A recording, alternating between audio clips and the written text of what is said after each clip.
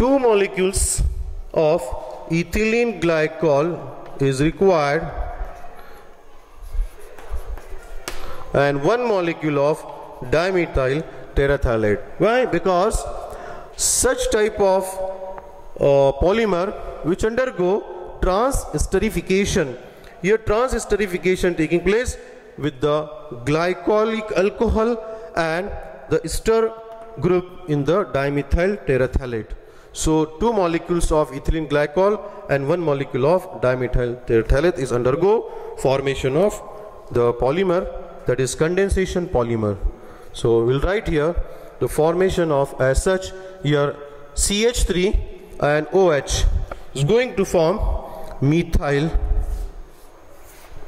Here also the OH and here from CH3 but it is required two molecules so is going to form that is after condensation so small molecule methyl alcohol is eliminate then we get formation of HO CH2 CH2 joined with this O C double bond O benzene ring then C double bond O O here combined with the second molecule CH2 CH2 OH this is condensation is taking place.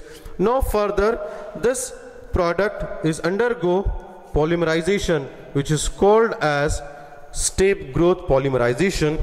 In this case the breaking of CH2 CH2OH and here from OH we detach this ethylene glycol from this uh, intermediate we call intermediate. So we'll get the formation of dacron. So CH2 CH2O C double bond O benzene ring C double bond O O.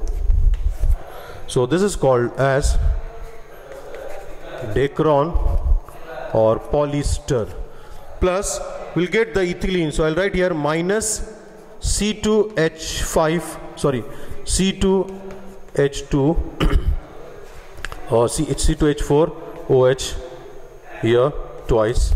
So we'll get the ethylene glycol is removed and we'll get the formation of the polymer which is called as condensation polymers which is called polyester.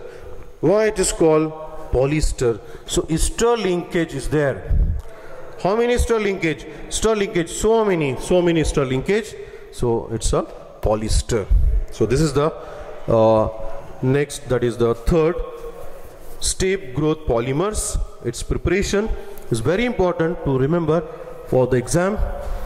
Their uh, monomers you have to remember steps involved in it.